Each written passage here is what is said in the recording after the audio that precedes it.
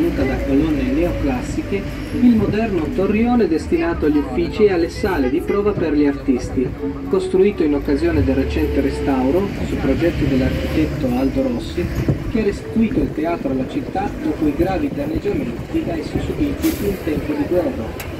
Mentre sullo slargo, respicente teatro, si può notare una bella statua equestre raffigurante Giuseppe Garibaldi. Anche i palazzi che affiancano il teatro, come quello del Banco di Roma e quello che ospita l'Accademia Ligustica di Belle Arti e il suo ricco museo, recano una chiara impronta neoclassica donatale dal Barabino. L'elemento centrale della piazza è certamente la grande fontana, attorno alla quale è sempre viva l'animazione e che in inverno spesso, spinta dal vento di tramontana, inzuppa di poco desiderati schizzi malcapitati passanti. Qui possiamo ammirare il prospetto laterale dipinto del Palazzo Ducale, dalla monumentalità spiccata, la storica sede del Doge del governo della Repubblica di Genova, ed ora centro di mostre e manifestazioni di rilievo internazionale. Di fronte ad esso, al di là della fontana, una successifice che aspettava la porta. Di età molto più recente ci mostra già la base gli eleganti portici che caratterizzano gran parte delle vie adiacenti a Piazza di Ferrari e che possiamo seguire anche attraverso la via d'Arte che ci accingiamo ora a percorrere.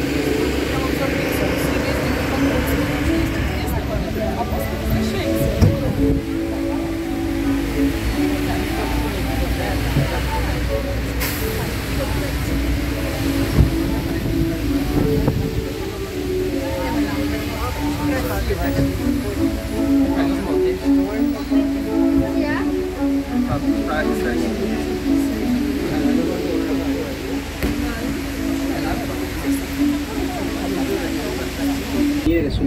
finestre troviamo quale unica superstite della fitta messe di case che la fiancheggiavano quelli che sono ritenuti i resti della casa natale del grande navigatore genovese Cristoforo Colombo, che in questa contrada, allora ricca di abitazioni di botteghe di artigiani dediti alla lavorazione della lana, trascorse i suoi primi anni di vita.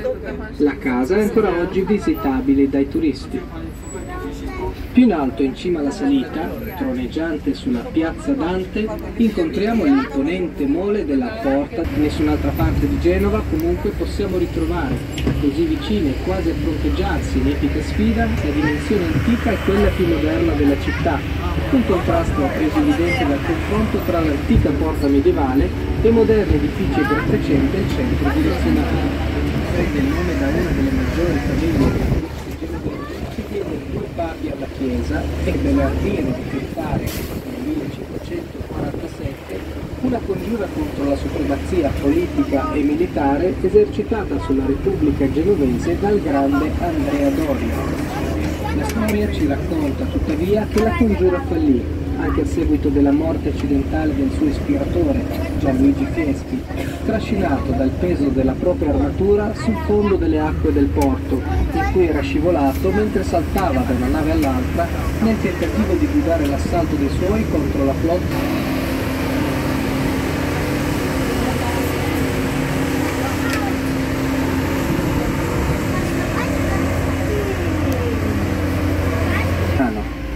erigere su volontà e lascito testamentario di Bandinello Sauli del 1481. L'aspetto esteriore della chiesa, unico Genova, riconduce al modello delle basiliche romane, con le facciate uguali sui quattro lati, la grande cupola centrale e i campanili laterali, che sono però due rispetto ai quattro previsti nel progetto originario. Se la messa potesse essere un po' ritardata, i fieschi risposero e chi desiderava comodità doveva procurarsele di tasca propria.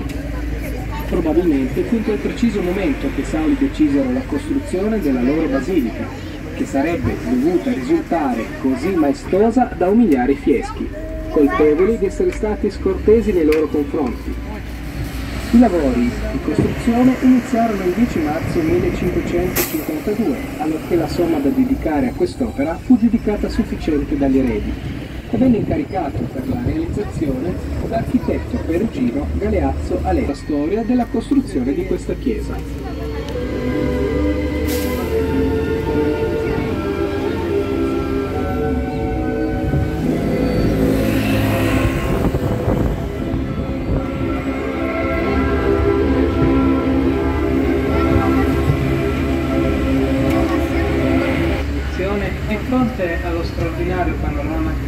che si offre ai nostri occhi, qui è possibile ammirare l'audace convivenza dell'antico col moderno, e ogni commento diventa superfluo.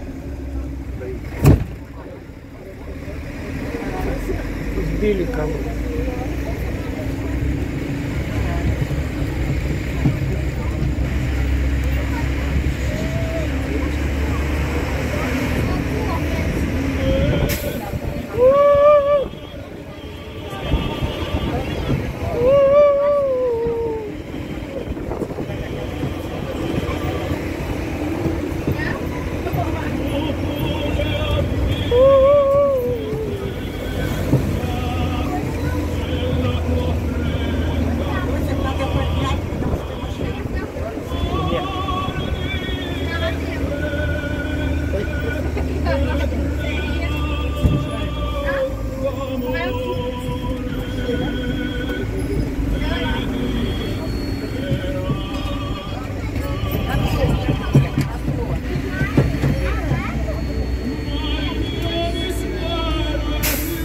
Sai che ha dei fotografi